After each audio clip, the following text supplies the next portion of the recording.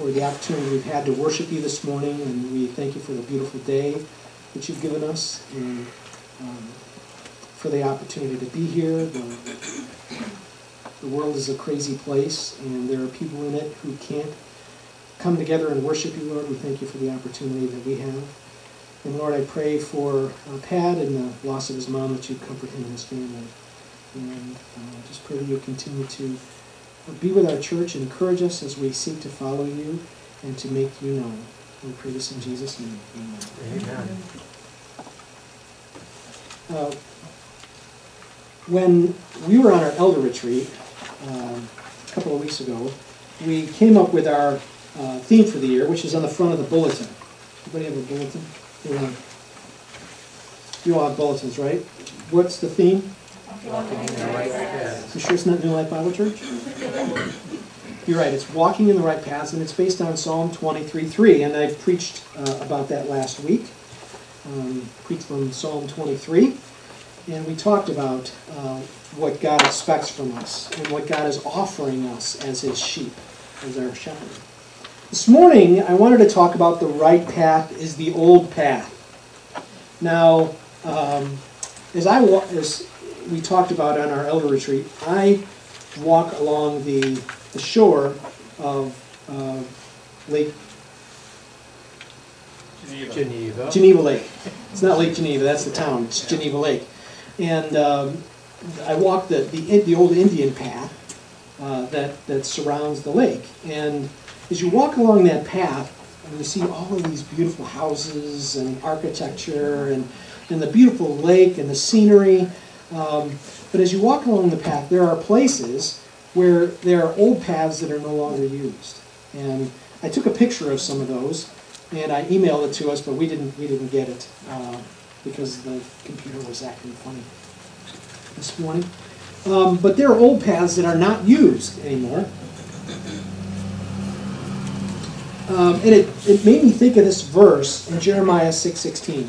Let me read it for you. It says, Thus says the Lord, stand in the ways and see, and ask for the old paths, where the good way is, and walk in it.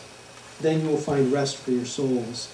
Uh, the last part there, we will not walk in it. That was the answer of the Jews to God as he as he offered this to them. But um, uh, in the church today and in the world today, there is a push to leave the old paths. And I have a, a, a sign that I'd like to show you. Um, never place a period where God has placed a comma. That's Gracie Allen uh, from before my time. and it says, God is still speaking.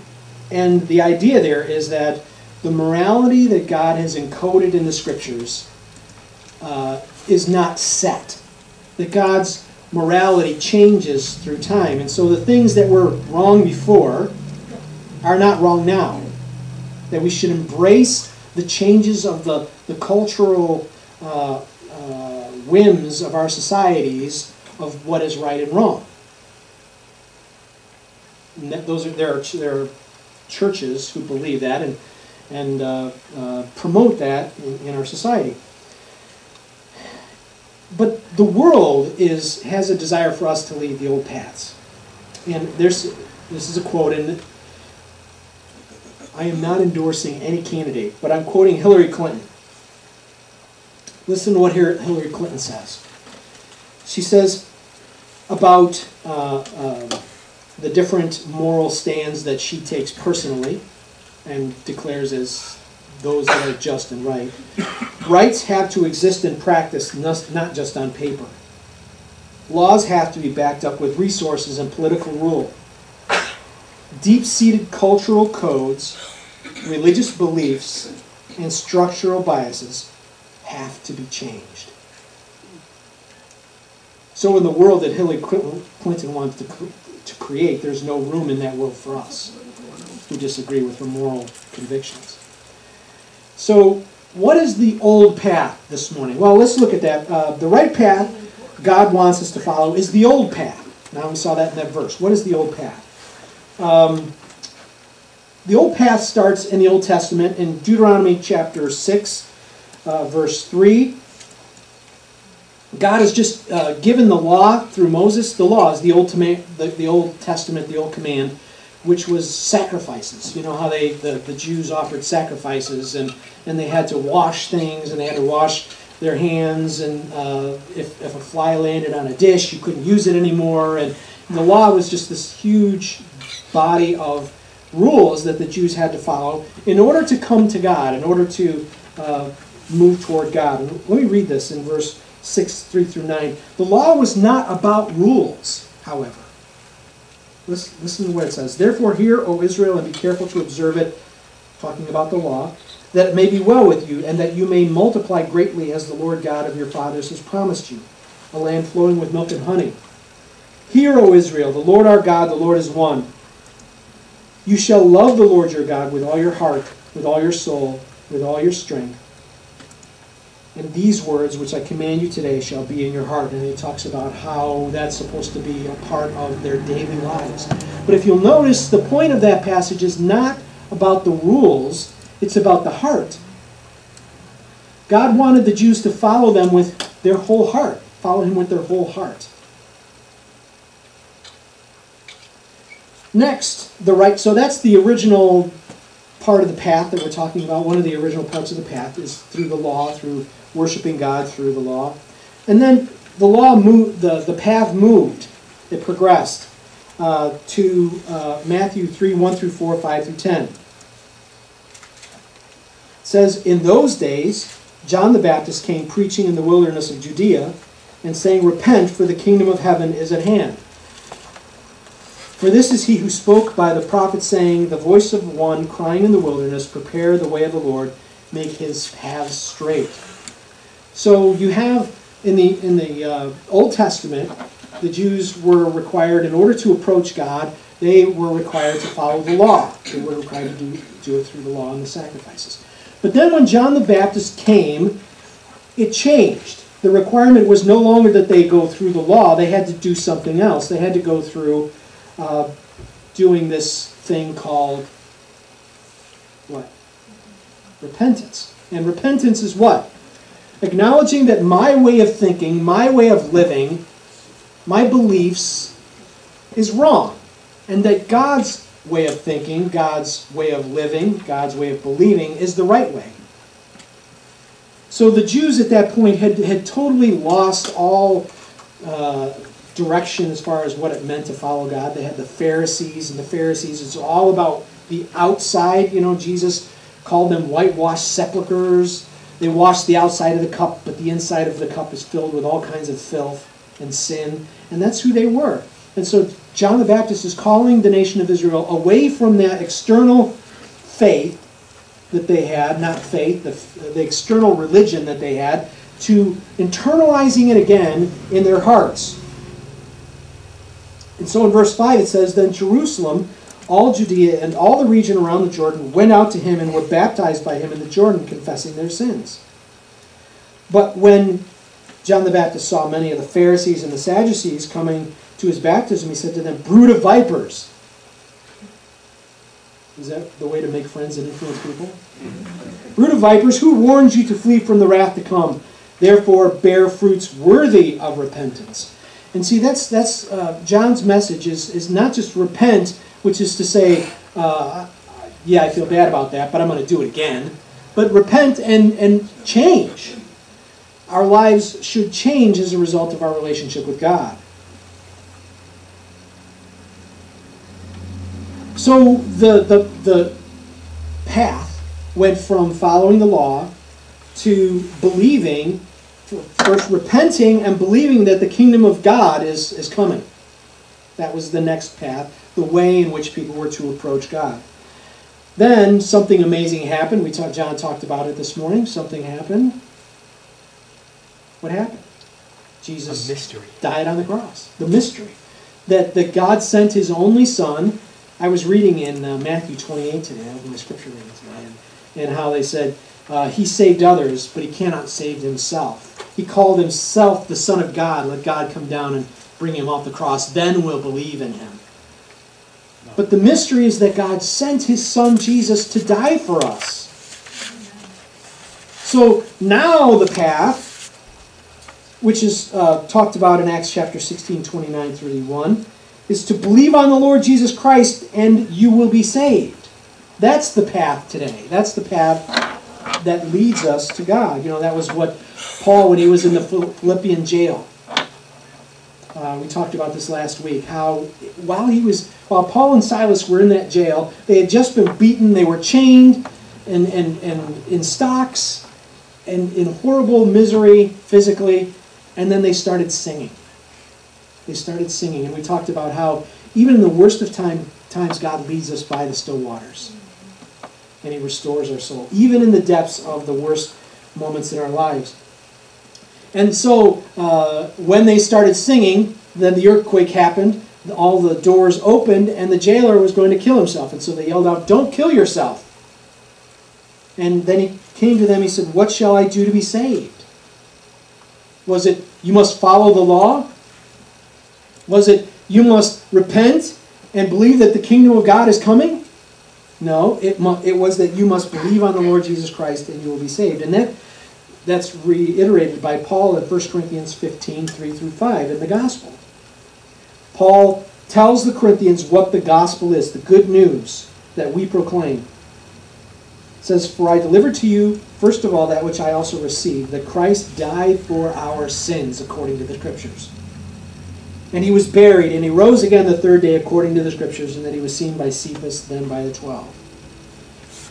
So the way we approach God has changed but the path to salvation has not. Salvation has not changed. And we're going to look at that in, in the next section here in part three, point number three. The right path has always been the same. That's why it's called the old path. Um, Ephesians 2 8 and 9 gives us the way of salvation says, For by grace are you saved through faith, and that not of yourselves, it is the gift of God, not of works, lest any man should boast. Actually, that's the old King James. I'm not really sure what the new King James says. For by grace are you saved through faith, and not of yourselves. It is the gift of God, not of works, lest any man should boast. So salvation is by grace through faith. The, the, the by grace uh, everyone who is saved is saved by grace. Amen. Grace is God's unearned and unmerited favor. Uh, who was the first person who was saved by grace that we know of in the Scripture? Noah. Adam. Noah. The first one who's referred to as being saved by grace. Garrett's got the verse up there and you can see it. Yeah.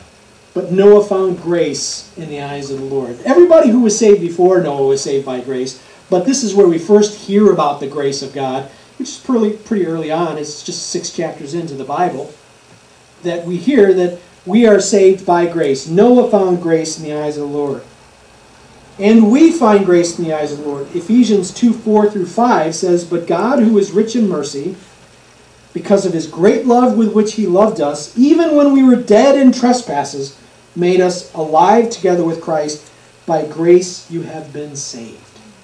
So everybody who has ever been saved has been saved by grace. Grace is possible because Jesus died for the sins of the whole world. Grace is possible because of Jesus. Jesus' death on the cross is the, the, the central point of how God can offer grace. Grace is necessary because it is the only way the perfect and holy God who cannot look on sin can approach the sinner a lot of talk about sin there. Has anybody ever sinned? Anybody? Yep. Anybody? Right? The world wants to say wants to say there is no sin, and that's why there's a new way. That all the things we, we're told in the Bible that are wrong are not wrong. Because God is still speaking. We have to change our belief system. But God says, no, we need to go to the old ways. Do you think the Jews who had walked away from God, who were doing all of the sinful things that our society today wants us to do, they were doing all the things in, in the time of Jeremiah that, that people are doing today. Do you think that the God who called them to stop doing what they were doing and go back to the old way is still speaking so that it, oh, well, it was not right for them back then, but it is right for us today? No. It is still God calling us as Christians to follow the old path, the good way, and walk in it. Because He has not changed.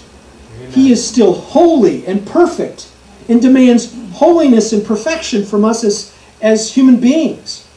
And because we cannot achieve that, because Adam sinned and we're all sinners and uh, guilty and deserve punishment and spend eternity in hell, in the lake of fire, right? We all deserve that. Because we are sinful, the only way God can approach us is by grace, is by His grace. Now, you would think that it's got us who are approaching God. It's God approaching us because while we were yet sinners, it says, God was God is the one approaching us, and He is approaching us by grace. So we are saved by grace. And then everyone who is saved from the lake of fire is saved by through faith. Saved through faith. So grace is kind of the, the doorway that allows us into the presence of God, into God's kingdom. Faith is the handle that opens the door. That by faith, through faith, we enter into God's forgiveness.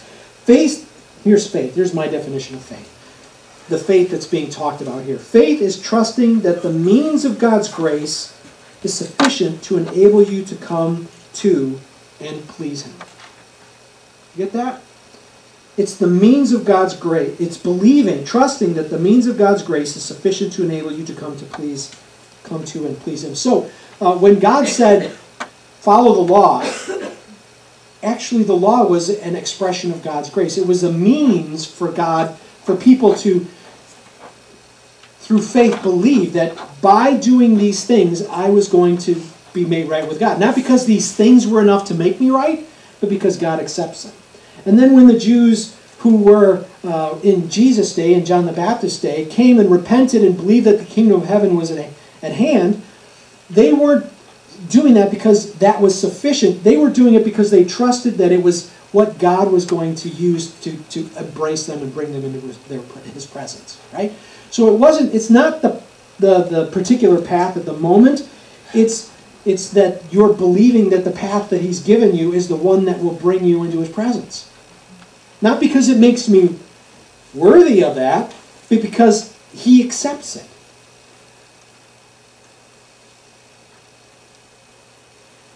Hebrews 11:6 describes this. It says, "But without faith it is impossible to please him, for he who comes to God must believe he is and that he is a rewarder of those who diligently seek him."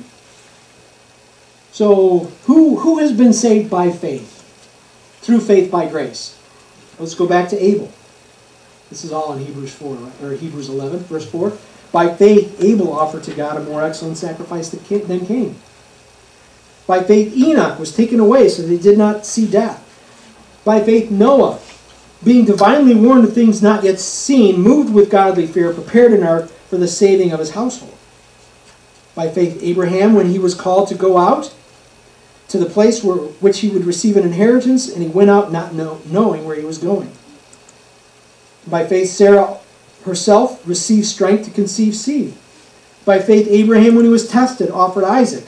By faith, Isaac blessed Jacob and Esau concerning things to come. By faith, Jacob, when he was dying, blessed each of his sons,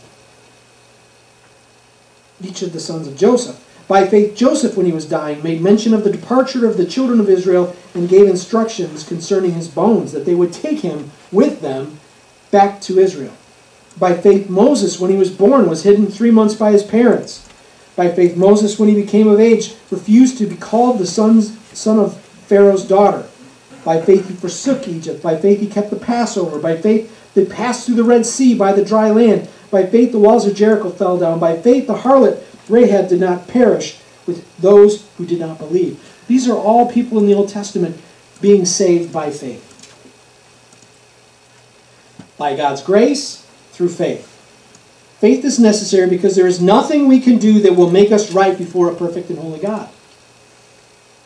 There's no thing you and I can do that will make us, that will open that door of grace to allow us to enter into God's kingdom. The only thing that God has placed there that allows us to enter into that door is faith, believing in the means He has established for us to enter into His presence, which is by grace. So we all come to God by grace through faith, faith because we cannot measure up to His perfect standards. So, whether it was the path of Moses, who had faith in God's grace to accept the sacrifice of the law, or the path of the Jews who had faith that they would receive forgiveness through repentance and belief in John the Baptist's message that God's kingdom was coming, or it is the path of the church age that by trusting in Christ's death, burial, and resurrection for our forgiveness, we are all, all of us, are on the old path of being saved by grace through faith. Does that make sense? It all makes sense in my head. I hope it makes sense in your head. So, as we apply this to ourselves, you want to walk in the right path, right? I want to walk in the right path. There are a lot of voices telling us what that path is. But God is telling us that that path is the old path. The path that has saved people from the very beginning. The path of grace through faith we need to stay committed to that old path. You know, uh, the, the, election is coming, and uh, we don't know what's going to happen. I don't know what you're going to vote. Um, but regardless of who wins, I have no idea what our country is going to become. Uh, we don't know what's going to happen in the future, and but we know the progression where our country is going, where it, had, it has been going, and it is more and more to silence the old path, to force us to change our beliefs.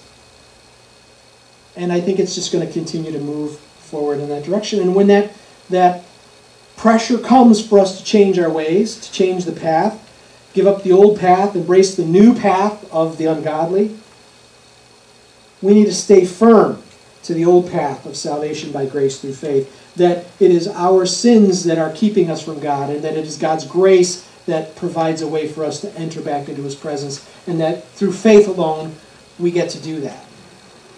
And we need to be continuously working to share it with everyone we can. Amen. We need to stay faithful to the old path, and we need to continue to share the old path. We need to do whatever we can. We need to send those boxes to those children all over the world who don't know Jesus, who've never heard of Jesus Christ, that they can be saved by grace through faith. We need to continue to do the Awana program, the high school program, the junior high program. Uh, we're going to be, Lord willing, starting a second service in Richmond um, in December. Planning on starting that, uh, launching that. Uh, our Christmas Eve service is, is going to be in Richmond, uh, Lord willing. That's the plan. And we want to reach Richmond for Christ. We're going to be sending out mailers and, and uh, going door to door, inviting people to the, to the church service. We cannot give up. Regardless of what happens on Tuesday, we cannot give up our purpose of declaring the salvation of God, the mystery of Christ, staying faithful to the old way. Are, are, we all in this together? Amen. Right? All right. Let's pray. Lord, we thank you that, that you have given us uh, a way to reach you that has not changed, that will not change. Salvation will always be by grace through faith. And Lord, I, I know that many of us, as Randy said, are apprehensive about the election and what the results are going to be. Lord, we don't know who's going to win. We don't know what they're going to do once they do win. But regardless of what happens, Lord, we can trust in you. We can be faithful to you. We can continue to serve you. We can continue to be lights. Share the gospel, Lord. Help us to stay faithful in the face of hostility, the face of persecution, and help us to continue to share the gospel regardless of what the world would say about what we're doing. We thank you that we have salvation through Christ and that one day we will be in heaven with you.